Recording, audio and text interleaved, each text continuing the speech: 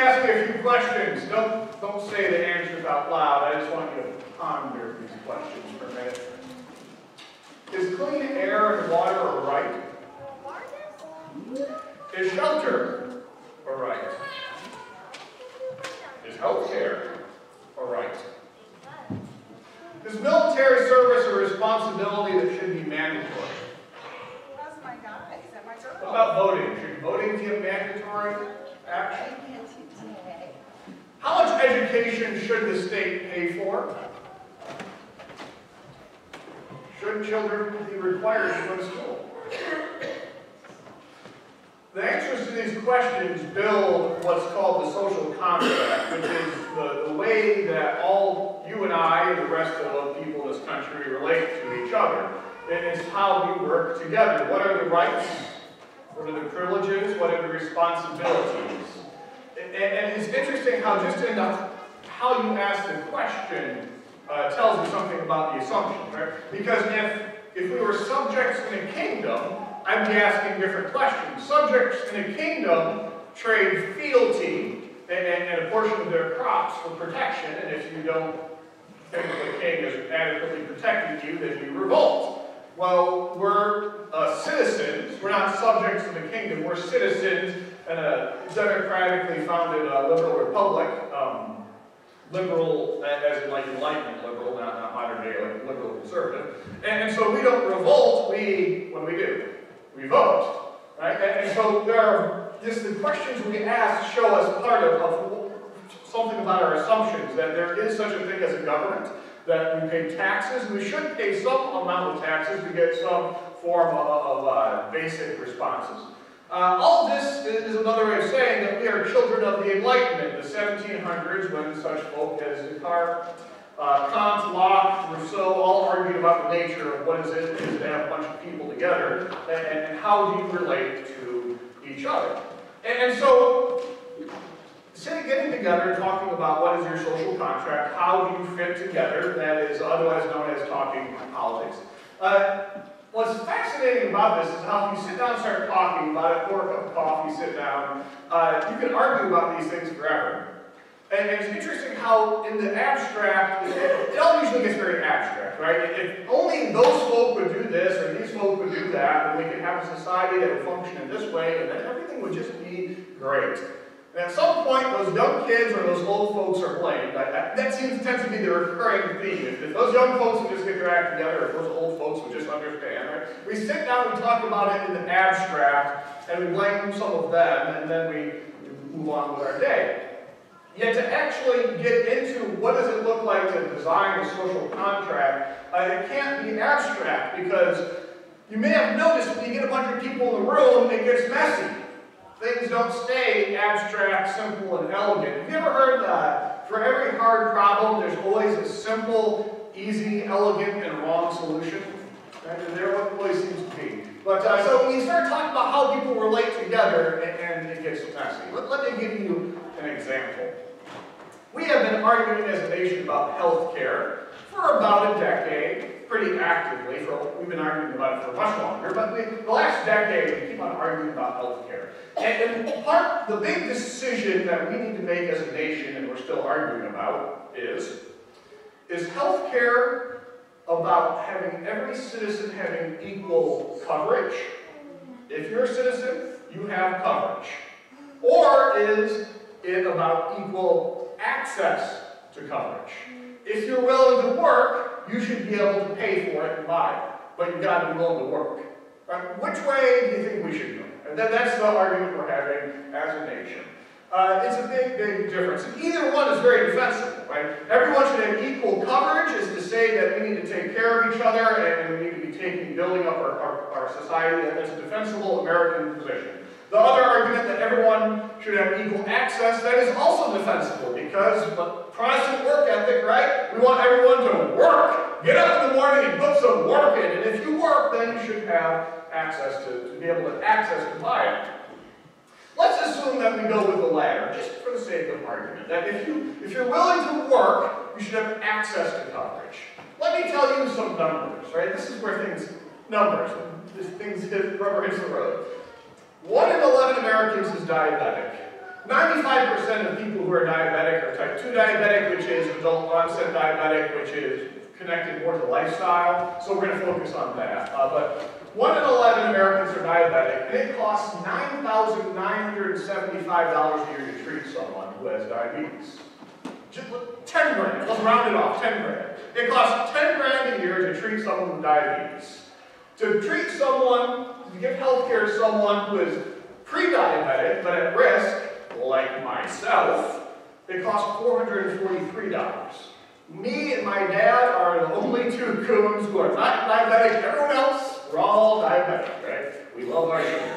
Um, so, 10 grand to treat someone per year diabetic, 443 who's not diabetic. If you take all of these healthcare costs and you divide them out per person, each one of you paid on average $700 for diabetic care last year.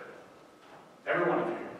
If you take like the total cost of all that 10 grand, divide it out per person, multiply it by however many people there are, divide it by number of citizens, each one of you pays $700. Now, those are 2007 numbers too. If healthcare is about equal access, true, people should get up and work. We value working. But if we also value saving a buck, is it better for us to provide basic health care for everyone? It would cost us $443 per person per year as to the state? Or would you rather pay $700 per person per year through your taxes that go for Medicaid and Medicare and a portion of your deductibles? You see, see how that happens? Now you can say it's all about equal access all you want, but then that, to say it's all about equal access is going to cost you three, you, it's going to cost you $300 more a year to have that stance.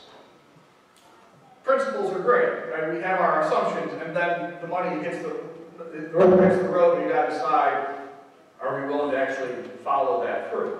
So that's the first complication of social contracts, is that when you get into the weeds, it gets expensive. The second, and, if that doesn't make sense, I'd love to get into the weeds with that with you, and I hope that was, any questions? Was that clear? That make sense? Okay. The second complication of working through a social contract is the following challenge. When, it, when these words were written, we the people who come together to form a more perfect union, who was we the people back then? Now compare that we the people to we the people today. Lots changed, hasn't it? As of last year, the majority of Americans under the age of three are not white. I moved here from Ireland. My wife taught, uh, she subbed at preschool, at uh, kindergarten. There were 20 kids that day at kindergarten, and five of them were white. The other 15 were speaking second languages or were uh, from other uh, nations, nationalities, right? It's, it's, that's not like some, that's not like an East Coast thing. That's like Milan. That's just up the road from us. We, the people, is shifting driven by a rise in non-European immigration, which is another way of saying people who did not go through the Enlightenment and have a shared understanding of church-state relations. So this becomes challenging. And so it becomes a very real question. As we, the people, becomes ever more diverse, what does it mean to be American? That is a question I do want to know your answer to. Probably not like right this second, but I want to know what you think about that. Because that's something I'm still pondering. I don't know. Like, what binds all of Americans together as American? And, the fact that it's sort of shifting. I, I saw an amazing study that um, if you think of parents were asked anonymously, would you be more bothered if your child married someone of a different race or of a different political party? It's political party now. Like you can marry whatever color you want, but don't you dare, don't you dare marry one of those darn. And you don't need to answer that either. right? Uh, so what, what's happening is it's called the big sort. Um, and you can look it up. There's a great book on it called The Big Sort. We are sorting ourselves into enclaves of people who think just like us. And then that, that is reinforced by the fragmentation of media. So you can go, you can hear people tell you exactly what you agree with. Then you go on Facebook and you like it, and Facebook will feed you more of exactly what you agree with. And so there is less and less of a common experience of what apple pie and the, in the Super Bowl for all to bind us all together. And so what that, how that hits the road practically, is things like welfare. When welfare was put into, uh, was, begun, it was a post-World War II program. And here's the logic of it. For those families whose husbands had gone and paid the ultimate price in World War II, we owed them support so that they could stay home and raise their children. Because every child should have a mama at home, she should not have to work outside the house, and every child should come home from school to a mother who is there with some fresh apple pie. Right? That was the beginning of welfare. And can you hear the trust built into this? Fast forward to 1996, and Bill Clinton, a Democratic president with a Republican Congress, they do uh, welfare reform. And it, what, what comes to pass then is what's called TANF, Temporary Assistance for Needy Families. Here's how it works. You get five years of assistance. That's it, right? And you have to be applying for jobs the entire time. Five, I have a five-year-old, and five years is nothing when it comes to raising a child. I'm just getting started. I barely got her into school. I still have quite a bit more left to go, right? Five years is nothing, comparatively, right? And, and the, the, amount of assistance, the actual aggregate value of assistance has decreased dramatically. Um, and, and so there's a lot less we have of people. Why don't we trust other people? because our sense of this rich sense that we are all in this together, this thick sense of a common narrative that we are Americans in this together has, has gotten a lot thinner. We just don't trust people like we used to. So, I, I don't share all of this just to be depressing, Reverend Buzzkill. Sorry. I stand by what I said, and, and I, I would love to hear what you have to say about any of it. I would love to drink some coffee and chat about it because I, I really am intrigued by all of this. But I don't want to share it with you just so that uh, I can be a buzzkill. I don't want to ignore reality. I don't want to sugarcoat it. I want to respond to it. And I need to respond to it as a Christian. I follow Jesus. We follow Jesus. So what is our response to, to sort of say, you know, we'll get through it, get to heaven and ignore this? Uh, no. Uh, what I think our response is as those who follow Jesus is to do the same thing they did in Acts, is we get together and we worship. We follow Jesus together, and we follow in a way that's rooted in worship. And what that means is, if we look in Acts, is that we are studying Scripture together, spending time together, eating together, praying together. And what we read is that they were in awe at how powerfully this changed their lives as all the believers were together and had all things in common, give it to those who had need. And they kept on doing this, eating together with glad and sincere hearts. And so as we read this, what it starts to sound like is this is the church is a way of living together in a particular social contract. We're going to live together, and we're going to live together with a certain set of practices and assumptions and a shared story. And uh, what you might hear, though, as you start to hear that, is that, that one phrase, they, all, they had all things in common. And what's the word that pops to mind when I say all things in common? Oh, come on. Socialism, right? All things in common. They, they, they give who had need. Does this, does this say that all, all of the uh, early Christians were socialists? Mm, no. You ever try Socialism is based on the government telling you that you have to share. Did anyone raise children and have to tell them that they have to share? How well does that go? Mm, right? Telling people they have to share is always an uphill battle. It doesn't work very well. You have to share, or I'll take it from you, isn't to work. Socialism fails. Socialism always is going to fail because it is godless and it is working based upon the goodness of people. It's saying, you people are good enough that we together, we're going to share with each other, just because you're so good. Yeah. Church is different. Church is a way of life together, a particular social contract in which we enjoy all that the Father has created. We proclaim how it has been redeemed by the Son. We are inspired and convicted by, of this by the Spirit. Church is this common life together that is not about how good we are, it's about how good God is. Because if it's about how good we are, well, eek. But it's about how good God is, and, well, here we still are.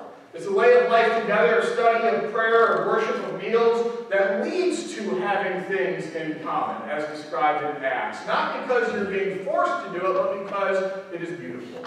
And if you want an example of that, let me ask this question. If one of you raised your hand right now and said, I had to go to the ER this week, I have a $2,000 bill and I can't pay it, what would happen? What would happen? Yeah. It would be solved before the end of worship. Is anyone forcing you to do that? It's because you want to do that. Because we're church. And church is a certain social contract, a certain way of living together.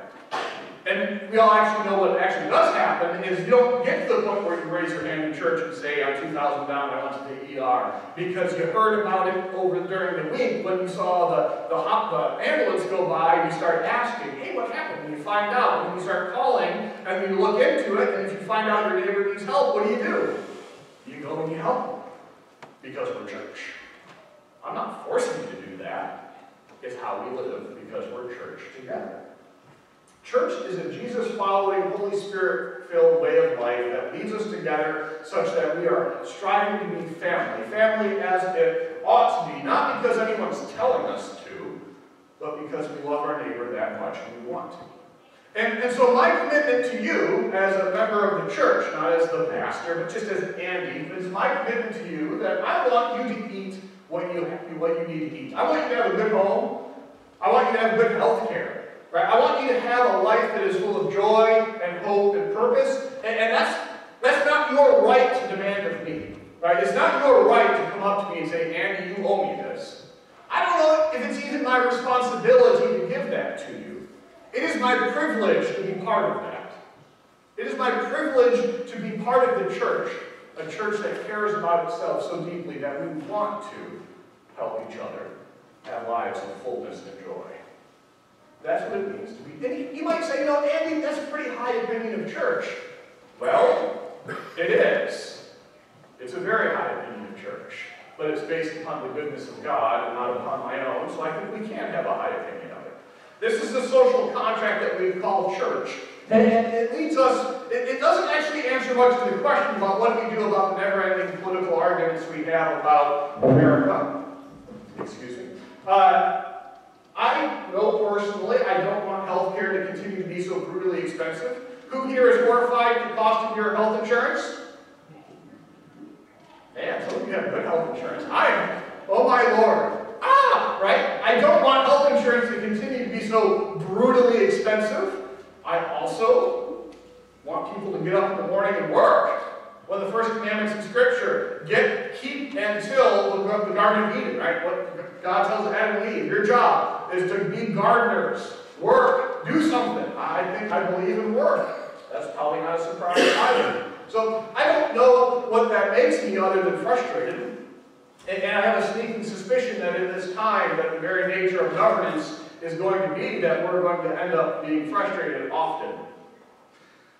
What I have hope in is that as a church, that we have clarity and confidence about our future, for we are gathering together to practice for the coming kingdom of God, and God's will is going to be done on earth as it is in heaven. As a church, we're going to continue to be people who disagree about what should happen in America. You're going to disagree. I know you are.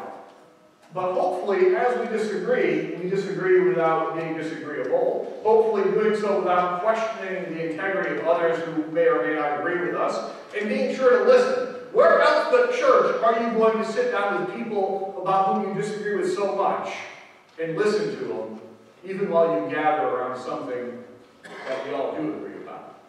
Right? That we all come to this table as Jesus beckons us. I believe that we can, as followers of Jesus, we are part of something different and better and permanent. We are part of a social contract that we dare call church. A gathering of people who are on a journey towards God's kingdom come. Kingdom way of life that is not about rights, it's not about responsibilities, it's about being privileged to walk together following Jesus. Amen.